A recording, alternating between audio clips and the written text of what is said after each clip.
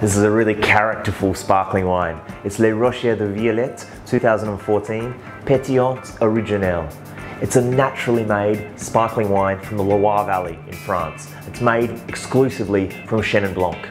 Aromatically, it's so complex. Pear, quince, roasted apple, chamomile flowers, and a touch of honey.